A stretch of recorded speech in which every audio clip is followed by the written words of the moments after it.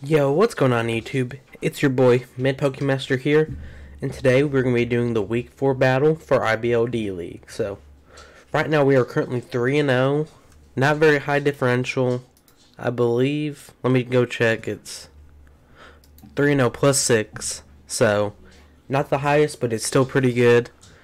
We are currently tied with OP Jellicent for like first in the league based off like, not differential, but based off like th- being 3 and 0. So hopefully we can win this week and keep staying in second place or maybe even overcome Jelly, who's a big fan of mine, and I'm a big fan of his. So, yeah. This week we are going up against the Bowland Bovines, coached by, I believe, Dr. Slaking. Yeah, it's him. He has arguably the most broken draft in the league and that's saying something considering most drafts in this league are broken.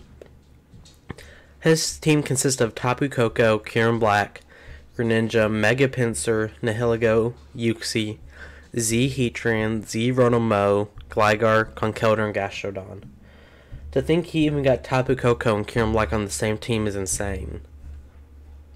Considering those are both round one picks, arguably pick one picks. So, he did get Tapu Koko pick one, but still just the Kyurem Black paired with that alongside a Nihilego and a Mega Pinsir, which just can destroy almost any team. It's crazy to see. So I want to go over my team now. So first I'm bringing a weakness policy, Necrozma with Autotomize, Earth Power, Photon Geyser, and Dark Pulse. Because as you can look at his team, he doesn't really have a switch in. Anything basically everything gets killed if they're low enough. Even some things just die from full, so I'm kind of hoping about. So I'm really hoping that Crosmo can put in some work this week. Next, I have a Choice Band Scizor. First match is coming to the season with Bullet Punch, U-Turn, Superpower, Quick Attack. This thing just destroys most of his team once Heatran's gone. And he even can beat like a bulkier Heatran if I click Superpower and he's not faster than me. And once Gastrodon's gone, it just wins with Bullet Punch, really. Milk Tank, Miltank is coming with leftovers, thick fat. This is my Tapu Koko switching this week with Milk, Drink, Earthquake, Stealth Rock, Seismic Toss. Extremely specially defensive because this is my Tapu Koko answer this week. Yes, he can U-turn or Volt Switch out, but this is my switching because Zapdos and Garchomp aren't a switching.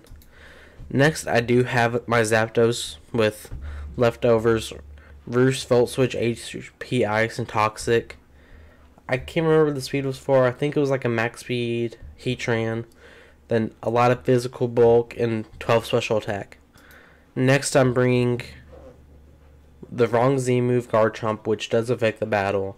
I brought Groundium Z Sandstorm, Earthquake, Dragon Claw, Rock Slide with the Sand Veil, and I believe I'm I can't remember exactly when I'm outpacing. It's probably Kyurem Black or something like that. Yeah, I'm outspeeding Kyurem Black, but I accidentally brought Groundium Z instead of Rockium Z for Sandstorm, so I was going to bring Z Sandstorm for that plus one speed boost, but brought wrong Z move. And now I have Mega Blastoise with Hidden Power Grass, Rapid Spin, Water Pulse, Aurora Spear, Aura Sphere, and max speed modest, so I can outspeed a modest Heatran.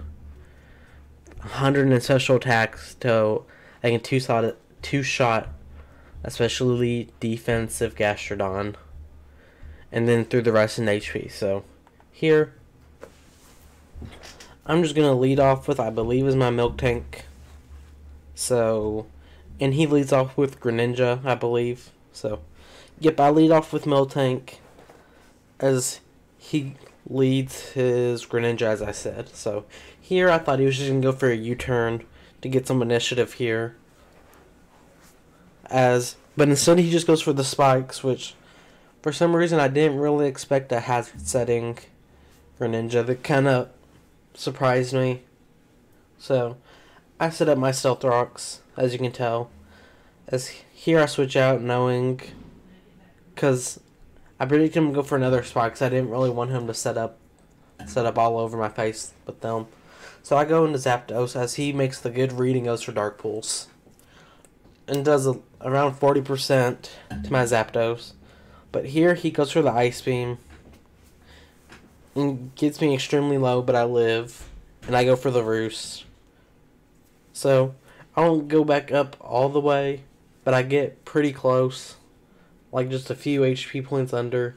So here, I believe he predicts me to switch again.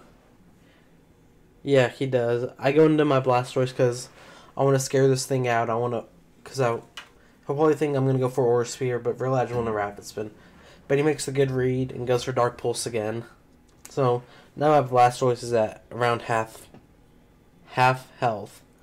But here, he just goes for his Gastrodon. So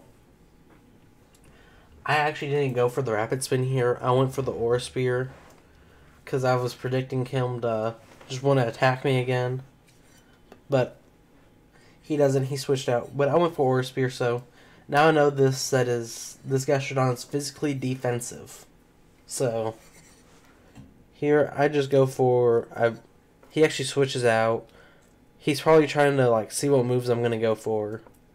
But here he goes for the Tapu as I can't remember exactly what I go for here.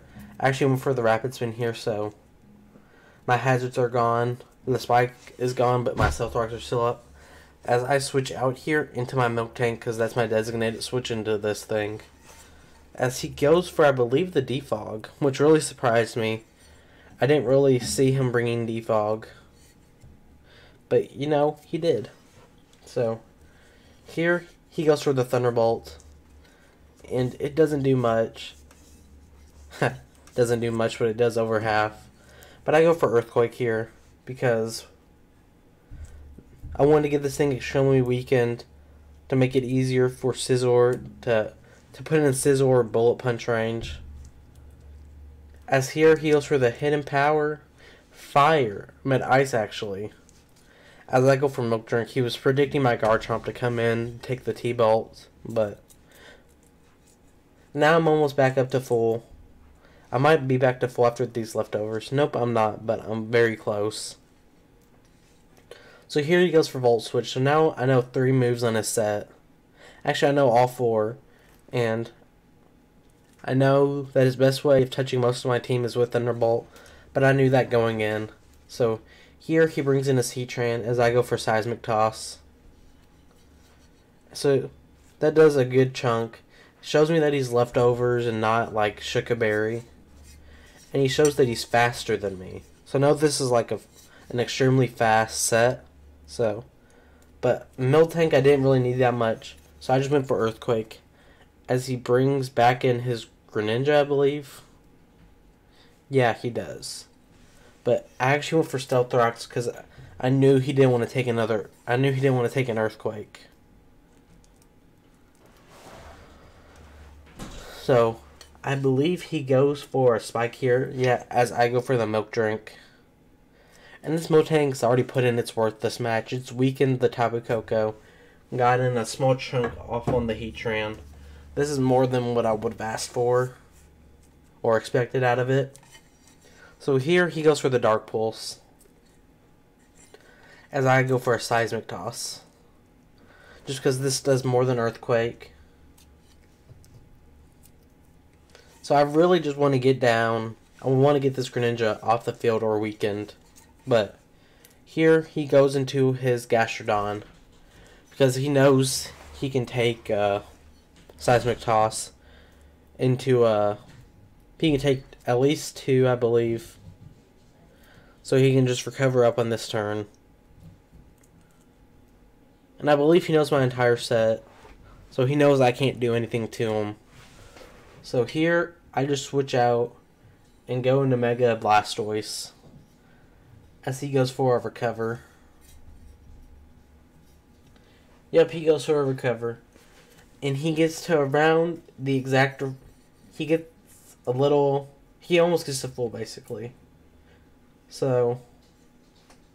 Here, I go for the rapid spin, predicting him not the one to take an HP grass.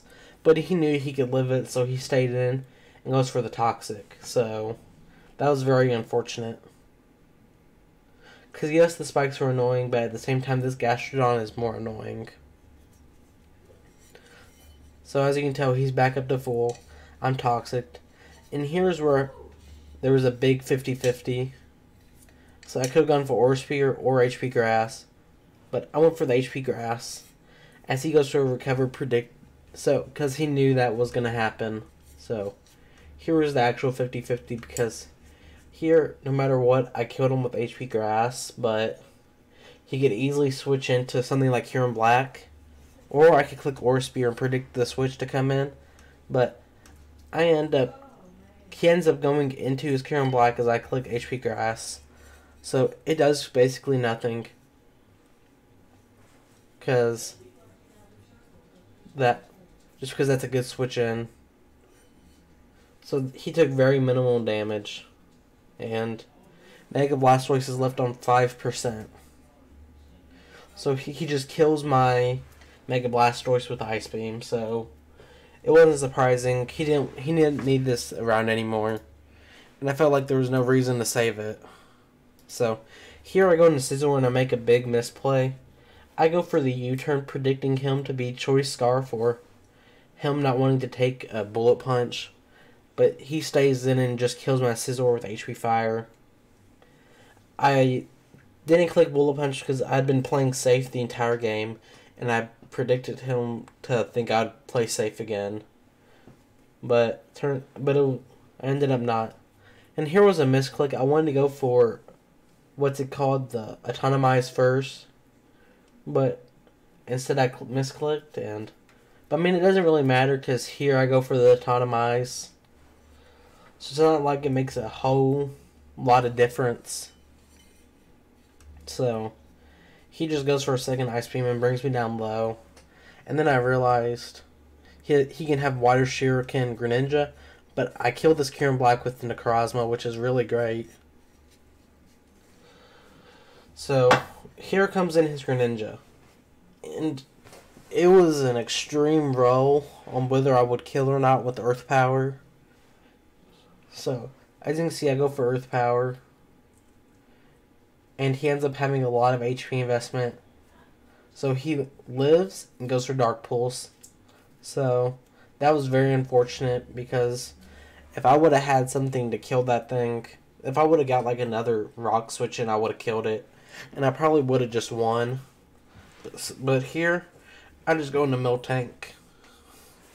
And I go for Earthquake just because I didn't want him to get another spike up if I milk drank, so I just went for Earthquake and killed this thing. So he's looking like he's in a really good position right now. So he goes back into his Tapu Koko and takes more Stealth Rocks. But he ends up, he stays in and kills Actually, I switched out for some reason. I don't know why I sacked off Zapdos here. Yeah, I don't know what that play was about. Yep, so Zapdos goes down. Hindsight, I should have just let Miltank die and bring in Garchomp. But here I wanted to go for the Z Sandstorm. But that was when I realized I had Groundium Z, not Rockium Z, so I couldn't. And I went for Earthquake and I killed the Tapu Koko. And at this point, I knew I couldn't break down the what's it called, the Gastrodon anymore. There was there's no way for me to break it. But he goes into Heligo, takes rocks, and at this point, I knew he would just beat me. So he goes for Dazzling Gleam and kills me.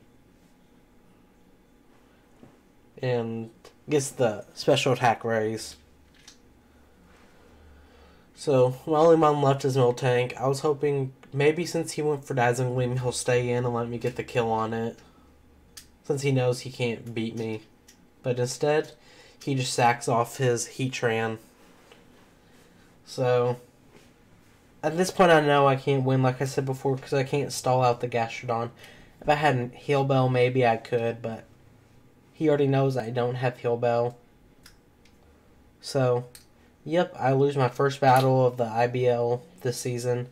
So now I'm 3 and 0 plus 4 because I think he won 2 0. And we didn't want to do like a stally. We didn't want to do any more stall than we had to. Because I DM'd him like. I We both acknowledged that he guaranteed one. So here I believe for like the next few turns I had to click like Stealth Rock or something. Something like that along the lines. Because I didn't want it to be boring to play or watch. Nobody really wants to saw, see a stall fest where you know one person will win over the other. So I go for Seismic Toss this turn as he goes for Recover, I believe. Yeah, and here is where I messaged him and I think he just scalds or earth powers me as I just click stealth rock twice. So, yeah, guys, thank you for watching. Think don't forget to like and subscribe. And my what's it called? My 100 sub Q and A. I got 20 likes, which is insane. So, I would love at least 10 likes here. If I can hit 20 likes on that video, I can hit 10 here. So, thank you all for watching, and I'll see you all next time. Peace.